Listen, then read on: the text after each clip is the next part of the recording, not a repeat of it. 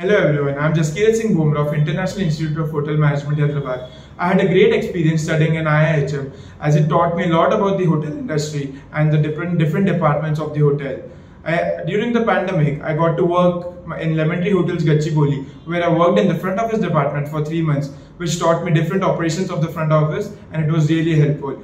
During the recent times, I got selected in Taj Falaknuma Palace for the placement drives, and I'm really thankful to the college and the mentors for the wonderful experience. Thank you. For a great hospitality career, call 98310 50000.